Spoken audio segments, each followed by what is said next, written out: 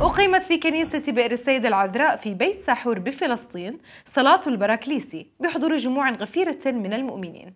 ومن أشهر العجائب التي حدثت في هذه البئر التي حفرها النبي يعقوب هي شفاء راهبة يونانية بعد أن شربت الماء من هذه البئر التي أقيمت عليها هذه الكنيسة. مندوبتنا في الأراضي المقدسة مرلين الحدوة زارت المكان وعدت التقرير التالي. في هذه الكنيسة الصغيرة بحجمها والكبيرة بعظمتها. كنيسة بئر السيدة العذراء أو المعروف ببير السيدة في وسط مدينة بيت سحور مدينة الرعاة. أقيمت صلاة ورتبة البراكليسي لكنيسة سيدة الرعاة للروم الكاثوليك في بيت سحور. ترأسها الأب سهيل فخوري راعي الكنيسة والشماس حنا أبو سعدة وبحضور أبناء الرعية. حيث كانت وقد قدمت الصلاة من أجل المرضى والمحتاجين والمسافرين وكل من يشكو من ضيق. من هنا ومن هذا المكان المقدس يتوافد المؤمنون من كل أنحاء العالم لشرب المياه المقدسة من البئر لأخذ البركة بقوة الإيمان وطلب الشفاء من الأمراض. اليوم حبينا نعمل صلاتنا هون في بير السيدة. بير السيدة هو مكان مزار كمان مش بس مكان كثير كثير جدا مقدس. بيحكوا إنه مريم العذراء وهي هاربة من بيت لحم إجت وقعدت هنا وشربت من ميته. والمي بالبير هنا ما بتفضى بالمرة لا صيف ولا شتاء. فحبينا نشكر هاي الأم العظيمة على كل نعمها وإحنا عم نتهيأ لتأبينها بعد كم يوم. نحكي لها عن جد شكرا لك كثير إحنا كلياتنا أولادك وإحنا بعيد رقاد السيدة. نتعلم منها درس كثير مهم.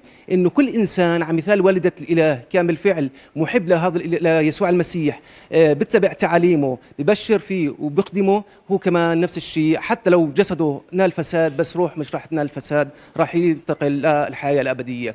وآخر شيء بحب أنا أشكر نورسات اللي دائما مرافقيتنا بكل آه، صلواتنا بكل فعالياتنا. شكرا كثير والله يقوي جميع اللي بيشتغلوا فيها. صلوات البراكليسي هي صلاة التعزية اللي دائما بنطلب شفاعة أمنا مريم العذراء فينا كشعب فلسطيني وكمسيحيين في هذه الأرض المقدسة وفي رعايانا لأنه كنا محتاجين للإيمان كنا محتاجين للرجاء كنا محتاجين للمحبة وكنا محتاجين كلنا مرضى بحاجة لشفاء.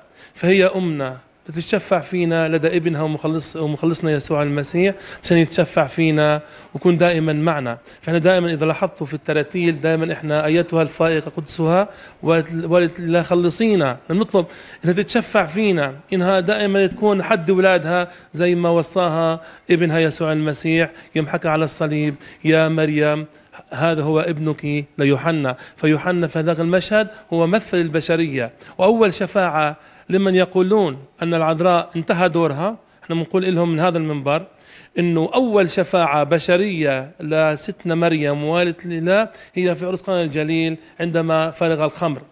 فمن لا يكرم مريم العذراء لا يكرم ابنها يسوع المسيح. وفي نهاية الصلاة تم مباركة وتبخير الأيقونة وطلب الشفاعة للجميع. فيا والدة الإله التي ولدت لنا المخلص المسيح. اشفي من أمراض الأجسام ومن أسقام النفوس المبادرين بشوق إلى وقايتك وسترك الإلهي لنرسات مارلين الحدوة من بئر السيدة العذراء بيت سحور